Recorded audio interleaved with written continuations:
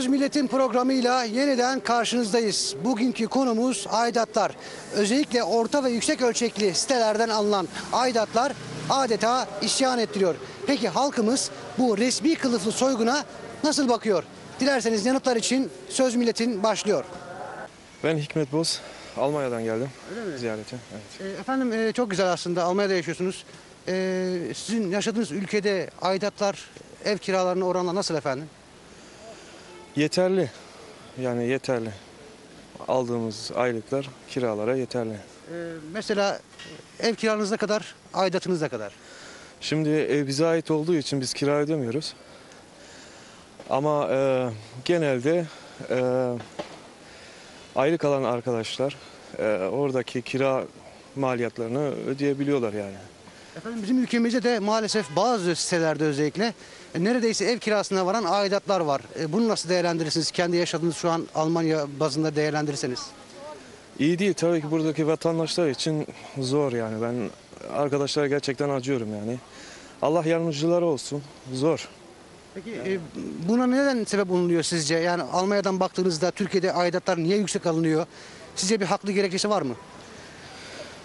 Niye böyle e, buranın yani e, iş durumlarının zayıf olması, ondan sonra enflasyon yükselmesi, paranın değer kaybetmesi böyle sebeplerden dolayı yani de arkadaşlar iş bulabiliyor mu?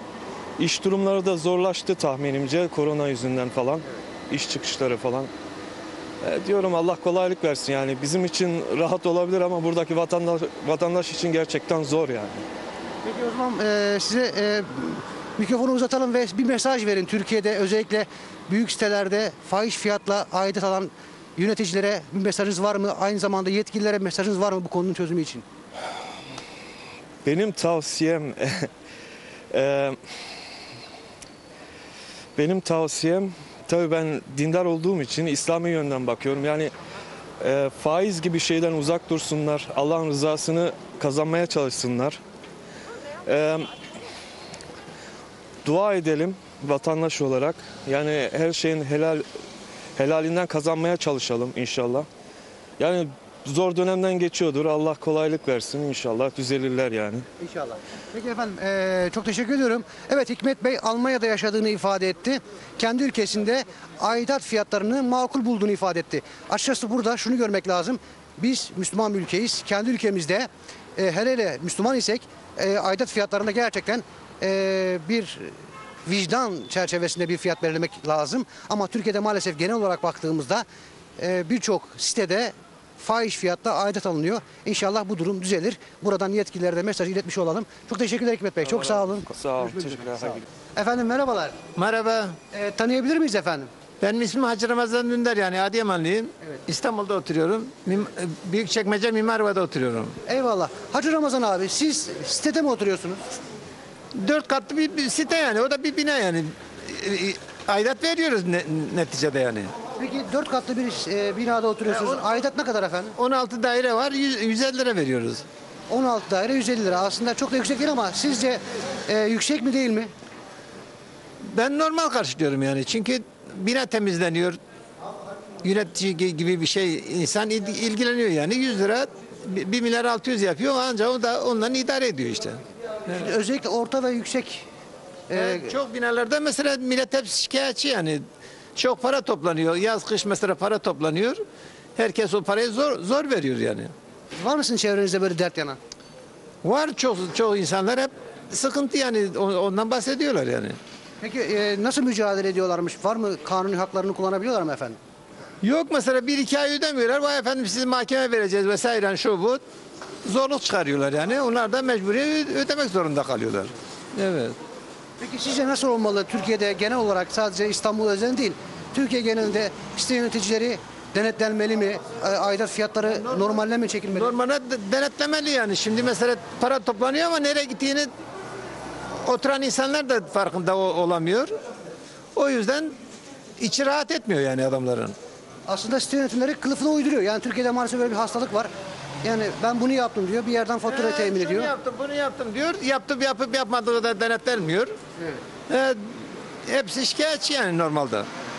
Peki o zaman sizin buradan yetkililere bir mesajınız var mı? Ne yapsınlar bu tür e, soygun yapan e, yöneticilere yönelik? O da normalde denetlemesi lazım yani. Denetlenmeyen bir yönetici ne yapacağını bilemesin. Denetlensin. E, denetlensin diyoruz yani. Çok teşekkürler efendim. Sağ olun. Efendim merhaba tanıyabilir miyiz? Musa Lordoğlu. Efendim e, ülkemizde özellikle orta ve yüksek ölçekli büyük sitelerde e, apartman yönetimlerinde site yönetimleri yüksek yani fahiş fiyattan aidat alıyorlar.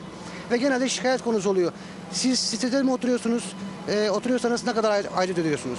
Ben sitede oturmuyorum. Normal dairede oturuyorum. Normal apartmanda oturuyorum. Sitede değil. Aidat ödüyor musunuz?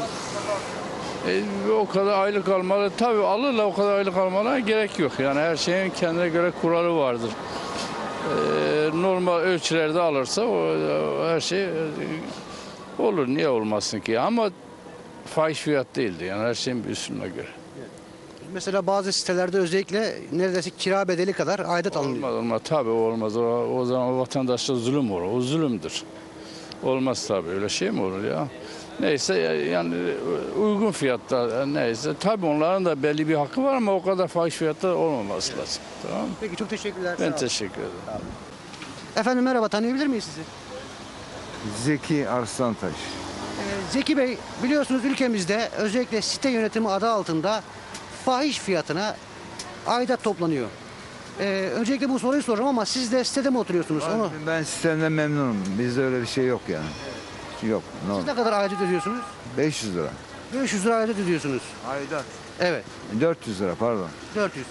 Peki sizce 400 lira aidat e, ödediğinize rağmen e, öncelikle yüksek mi bu? E, yüksek mi buluyorsunuz? Bir de o hizmeti alıyor musunuz? Ben o hizmeti de alıyoruz. Yüksekte bulmuyorum yani. Bizim site için normal. Peki efendim e, ne gibi hizmetler veriliyor mesela sitede? Ne istiyorsanız veriyor yani. Örnek vermek gerekirse. Yani normal temiz şu anda gündemde temizlik var değil mi? Evet. E, başka ne lazım ki? Alışverişimizi yapıyor. Her şeyimizi yapıyorlar. Sizin için 400 lira aidat e, hizmet ödeyici için normal. diyorsunuz. Normalde. Peki yüksek alan daha yüksek verenler var. Bilmiyorum abi. Bilmiyorum. Ona bir şey söyleyemem yani. Peki çok teşekkür ederiz. şey Çok sağ olun efendim. Kolay gelsin. Olsa tabii ki düşünürüm ya. Niye düşünmüyorum olsa? Ama mesela e, aidatlar çok yüksek. Ev kiralarına varan aidat. e, doğru doğru yani izliyorum doğru. Doğru yani bir şekilde doğru. siz doğru buluyor musunuz böyle bir uygulamayı? Ben doğru bulmuyorum böyle bir uygulamayı.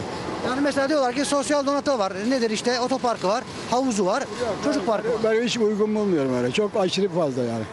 Normal kira parasına kadar yakın bir aidat ödeniyor yani. Sizce peki bu e, site yönetimli adı altında bir soygun mu gerçekleştiriliyor? Çünkü bu denetimin var mı yok mu onu da bilemiyoruz ama Onu da ben pek ayrıntı bilmiyorum açıkçası da yani aslında araştırmak lazım.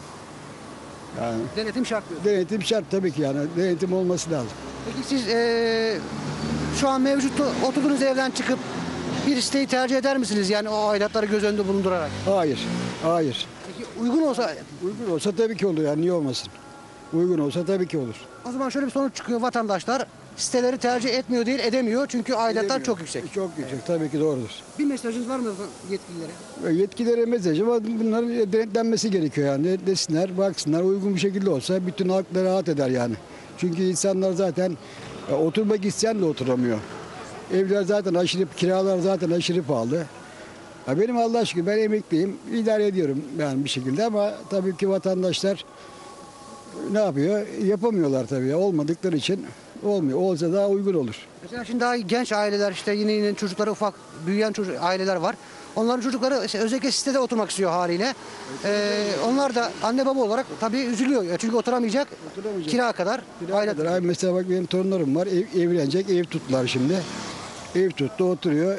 Ama ne olacak yani sonuçta tabii ki yani uygun olsa daha iyi olur. Mesela kaç paraya kiraladılar? Yani yani 1200 lira mı? Herhalde 1200 lira civarında kiradılar. İyi bulmuş yani. İyi buldular yani. Aidatlarını ne kadar ödüyorlar biliyor musunuz? Onu bilmiyorum. Daha dün tutmuşlar. Daha konuşamadım. Yarın tuttuklarını söylediler akşam. Daha henüz konuşmadım yani. Ne kadar olduğunu İnşallah konuşmadım. ödemeyecekler. İnşallah fazla ödemezler yani inşallah. Herkes için hayırlı olur yani. Bu e, uygun olsa daha iyi olur tabii ki. Vatandaşımız böyle düşünüyor. Çok teşekkürler. Evet sağ olun. ben teşekkür ederim. Hadi kolay gelsin. Sitede mi? Yok sitede oturmuyorum. Sitede oturanlar yüksek e, aidatlardan şikayetçi. Siz aidat ödüyor musunuz? Yok ben sitede oturmuyorum. Yani, yani aidat ödemiyor, ödemiyorum. Ya normalde ya, ya normal şeyde oturuyorum. Yeni Bosna'da oturuyorum. Ya, evet, evet. Peki eee, olur da evinizi değiştirmek isterseniz siteleri tercih eder misiniz? Tercih ederim yani. Peki aidatlar çok yüksek. Hemen hemen, hemen ev Ya kiralarıyla. şimdi yerine göre değişiyor aidatlar yani. Yerine göre değişiyor. Mesela yüksek de olur. Şey yüksek de var, alçak da var yani. Mesela şey düşük şey düşük de var yani.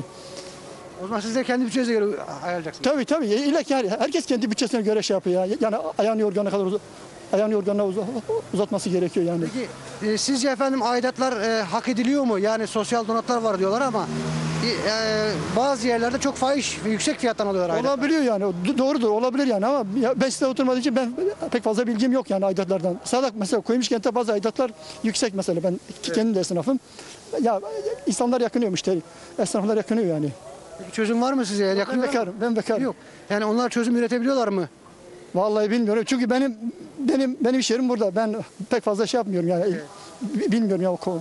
Oradaki şey e, şey hakkında bilgi. Çok teşekkür ederim. Rica ederim estağfurullah.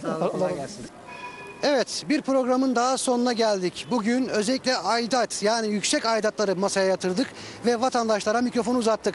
Gerçekten yüksek olan aidatlar vatandaşların iflahını kesmiş durumda.